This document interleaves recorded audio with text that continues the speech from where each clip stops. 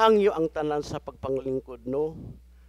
Alang sa hamubo sa pagpaambit labi na sa pulong ni kabuntagon diha sa atong pagduol diha sa iyang templo nga maong simbahan diha sa atong makagahom nga Dios niining kabuntagon no?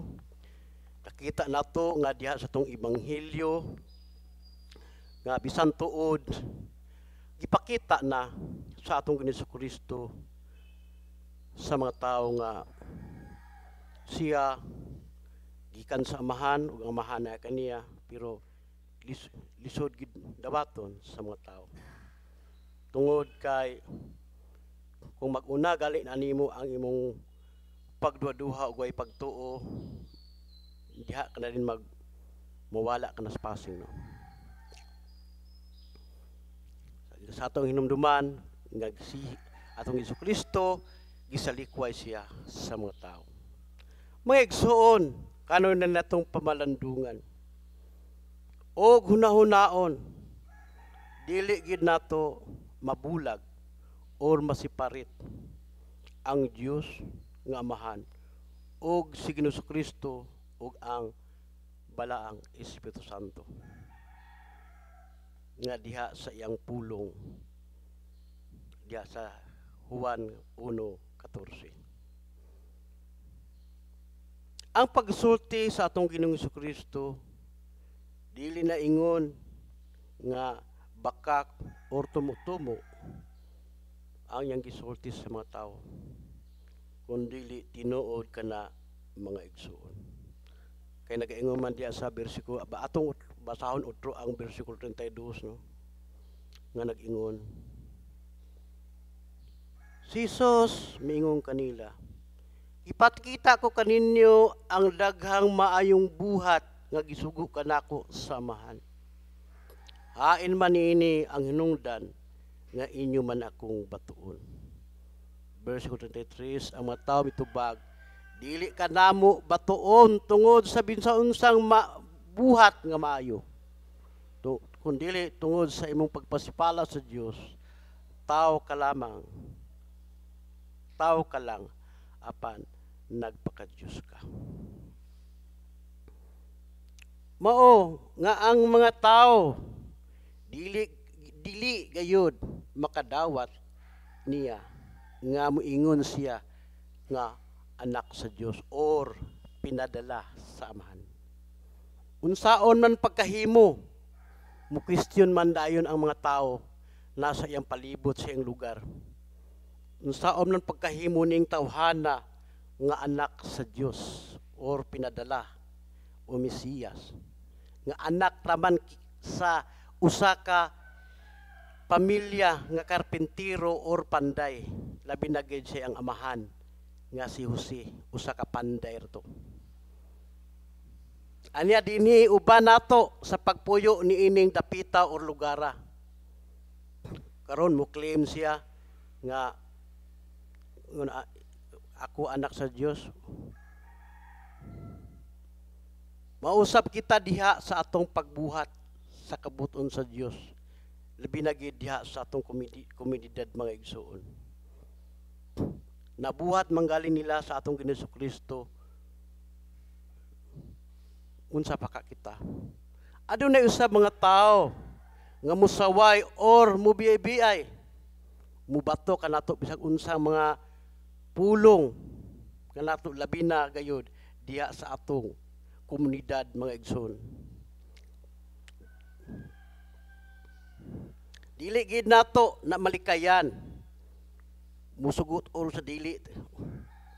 Diha labi na kitang mga leader no. Diha sa simbahan. Adunay na aduna tay maayong pananaw maayong mensahe para sa katauhan. Ang problema lang, advantage ang mga tao, diya silang paghuna-una, ang pagka walay pagtuo kanila. Ang ilang kasing-kasing, gisiraduha, sirado pas kandado ang ilang kasing-kasing.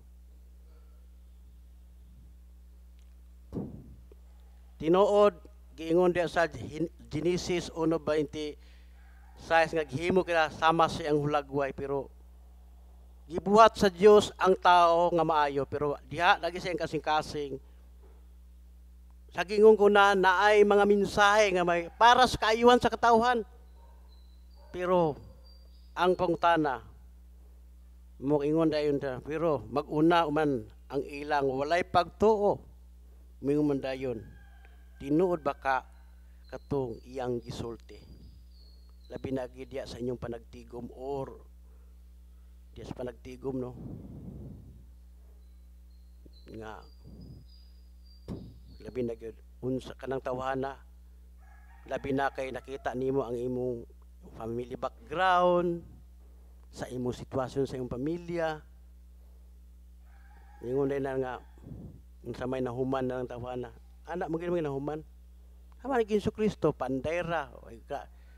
Kan at ino naman. Tino ba nga ang kaalam na ang, ang na ang kaalam niya sa Dios Mm, sa may nahuman ni Dikon grade 6 sa elementary man na.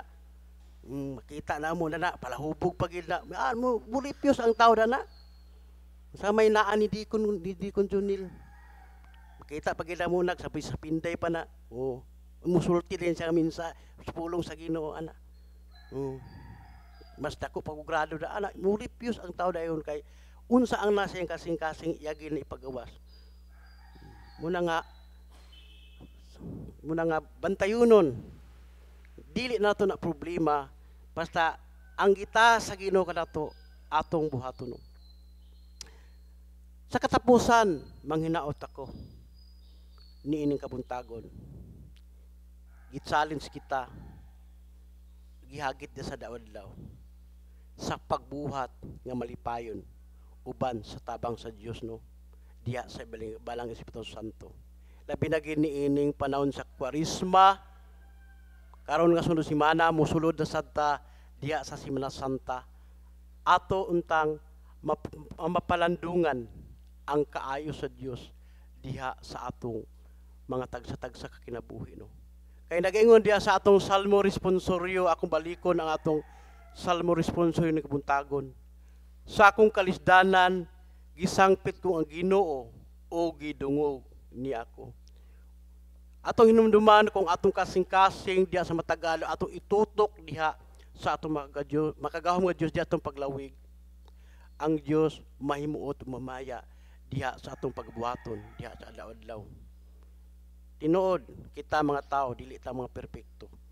Pero nagsalig ta sa ang grasya ug kaluoy ug gugma diha sa adlaw-adlaw. Labi na sa atong mapadayunon diha sa atong paglawig sa pagbuhat sa angayan nga ipabuhat. Kung asa kita gipahaom diha sa atong makagahom nga Dios mo na atong ebanghelyo gihangyo ang tanan sa pagpanindog